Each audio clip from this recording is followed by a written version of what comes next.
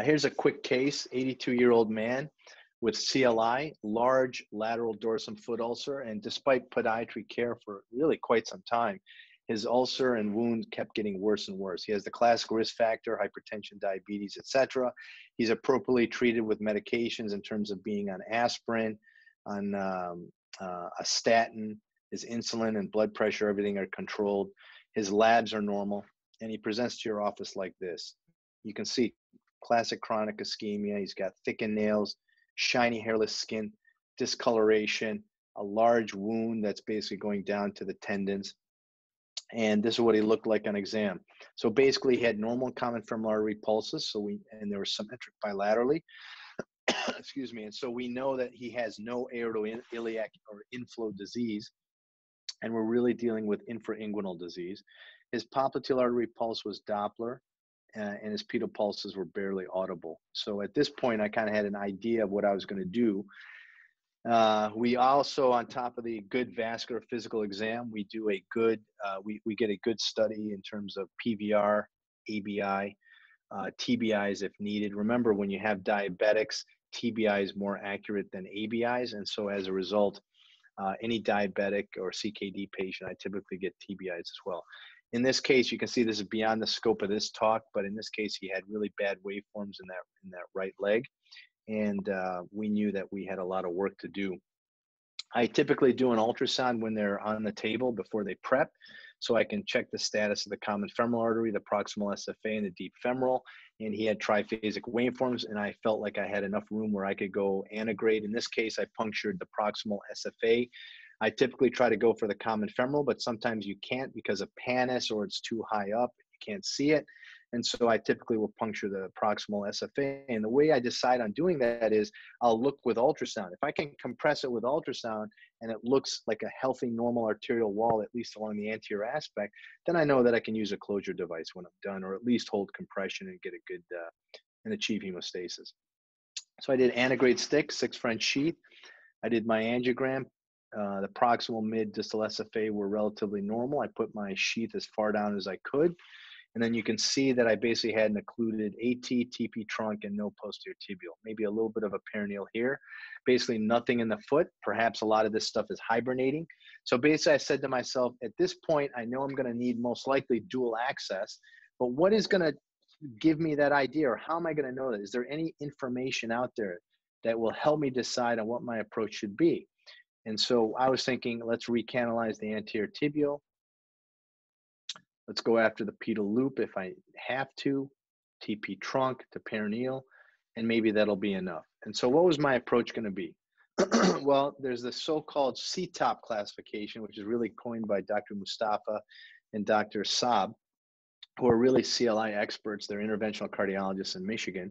And basically, what they want you to do is evaluate the, the caps. They looked at thousands of chronic total occlusions and realized that these were really the four main types of CTO caps that you'll see. There's the cap, which is uh, right here. You can see it kind of goes downward. And then there's a cap, which is more like this. So if I'm coming from above here and my guide wire engages this cap, I'm most likely going to be intraluminal at least part of the way. Where I end up down here just depends on your te technique and how tough the uh, CTO is to get through. If I have a cap like this, my catheter and guide wire naturally are going to want to slide off. And as they slide off, then I'm going to be subintimal or subadventitial right away. And where I end up here again, I'm going to probably need something to try to get me back into the lumen, whether it's a access from below or a reentry device from above, or the various techniques we talked about. So the CTOP classification, something is very important, gives you an idea of how to approach things. I like to approach things in an antegrade fashion the majority of the time, unless I'm dealing with flush occlusions, and that's a different situation. So here in this case, I tried from above and, put my catheter there. I knew I was going to need dual access. So I got pedal access here, anterior tibial. I followed my wire under ultrasound for a part of the way and I got to here and I thought, wow, this is great. I'm basically done, I already recanalized this. But then realized that nope, not the case at all. You can see that when I did the angiogram, I'm kind of at the side of the wall. So I'm clearly subadventitial and not and this would not be a great I mean, I guess I could access it here, but it's not the optimal strategy in this case. And you can see trying from above and below, I'm in two different sub in uh, subadventitial planes. Obviously, I'm using a low tip load guide wire. As you can see, it's prolapsing here. And so I need to do something here. And there's two different techniques you can use to get through or allow these two channels to communicate. The technique one is I can use either CART or I can do a reverse CART, balloon from below, balloon from above. So in this case, I basically did a balloon from above. And then as once I disrupted that tissue in between the two guide wires, I was able to eventually get my guide wire into the lumen or the true lumen or the intraluminal, uh, uh, the native lumen of the normal artery above, and then eventually out a catheter and sheath, obtain wire through and through access. Then I reversed my access by pulling the wire back, putting a catheter from above, injecting. This is the pedal access site, so that's normal to see that. You can just put your finger on it to achieve hemostasis if you want to. Or in this case, I got down with a wire, ultimately did balloon angioplasty. The second technique you can do when you're in this situation, when you have a chronic total occlusion and you're in two subintimal spaces, is what we call Navi bossing. So this was really a four French Navicross catheter. This happens to be made by Terumo, has a little curve. It's 035. and I'm basically using it to disrupt the tissue between the two guide wires, which are in two separate planes.